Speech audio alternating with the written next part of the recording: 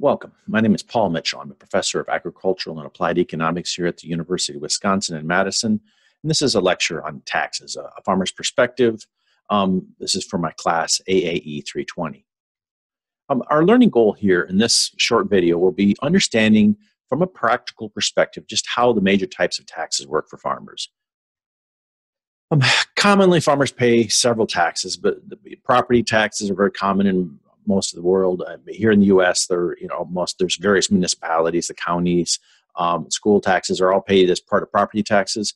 There's sales taxes for many items we buy, um, and then also there are employment taxes, um, where if you hire somebody, you pay part of some taxes. The ones we're going to focus on here, though, are going to be income taxes, self-employment taxes, gift taxes, and estate taxes, um, sometimes called death taxes and for, for this part here, we're going to focus primarily on income self-employment taxes for this um, the traditional tax forms.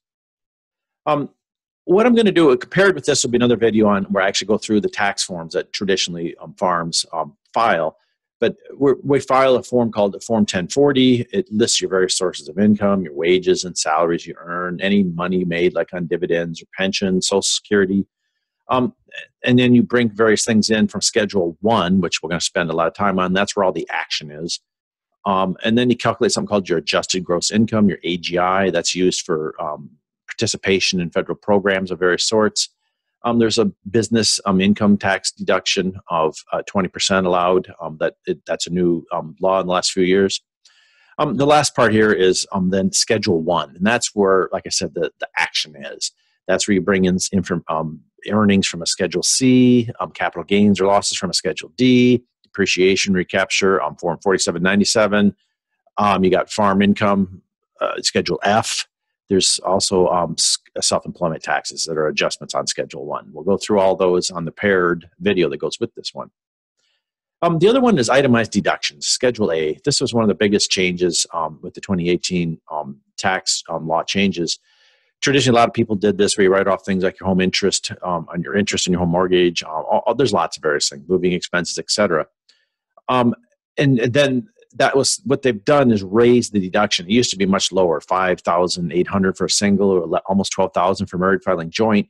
What they did is raise it much higher to um, it's 24000 now for a married filing joint which makes it less likely that people will claim it. So it's just less paperwork for everybody um, and then once you get all done, you take your adjusted gross income, your AGI, subtract off some of these deductions, such as itemized deductions or the standardized one. Then you calculate your income tax on line 44 of that form, and then you take that to the income tax brackets. And that's where I'm going to spend more of the time here is um, going into those brackets. Um, so what we have in the United States is what they call a progressive income tax the earnings on your income above different levels as you go up the brackets it gets higher and higher percentage of that income earned in those brackets is taxed at higher rates. And so the first um, we'll stay with the single right now single um, person the first $9875 you pay 10% of that as your tax. If you're married filing joint it's essentially double at 19750 um, then for the money earned above that that level those that bracket you actually pay 12% of that tax on that income. So for if you made ten thousand dollars, the first part of your income, the ninety eight seventy five, would be char- um, taxed at a ten percent rate. Then the difference between ninety eight seventy six all the way up to ten thousand dollars, that part would be taxed at a twelve percent rate. And then you slowly march up the brackets. And right now, with the new law, the highest bracket is 37%. So if a single person filing a single tax form, all your income earned above 5,800, I'm sorry, five $518,400 would be charged at 37%. A married couple would be 60, $622,050. Anything above that would be charged at or taxed at a 37% rate. And, and it goes down from there. Um, the other thing, these index, the, these bracket numbers, that's why they're so different, is they're indexed by inflation. So they will adjust each year or every few years. So the way it actually shows up is more realistically. It's like say you earn forty five thousand um, dollars. Well, that would put you as an individual taxpayer would put you in this third bracket here.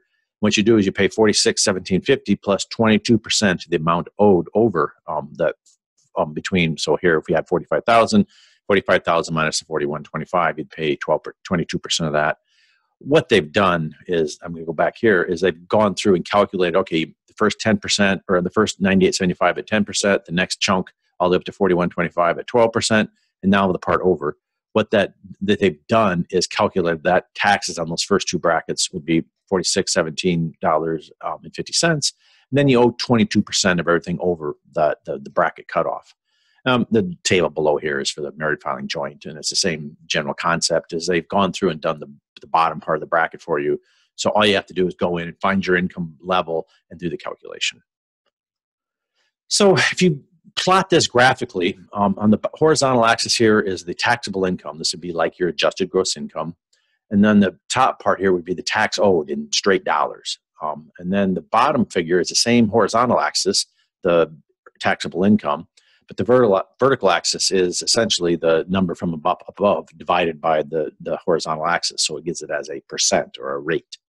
So we'll start, we'll just do a nice round number of 100,000. Well, you can see you would owe somewhere around, it looks like about $32,000 in taxes, 100,000, so 32 divided by 100,000. Um, well, that's not right, but it should be here. It has it as a point of um, a 20%. Um, so you get a sense as you go. What I'm really trying to show here, the numbers are a little off um, when I'm reading them quickly here, is um, as you go up the figure here, um, you you're this is the effective tax rate, how much you'd actually be paying in taxes. So hundred thousand dollars, it's about 17, 18 percent. Two hundred thousand, you're paying about 23, 24 percent. 400,000, you're up to about 27, 28%. You can see 500,000, you're paying 30%. So it does rise um, and you can see the kinks in it as well. That's the part that's kind of uh, surprising. There is that kink. It bends over, but it's not a smooth bending over. And so sometimes if you're doing taxes, you're at those kink points, you'll be surprised how quickly it changes. So this is the the same numbers just zoomed into the first 200,000 instead of all the way up to 700,000. But you can see as your taxes, as your income goes up, your taxes go up.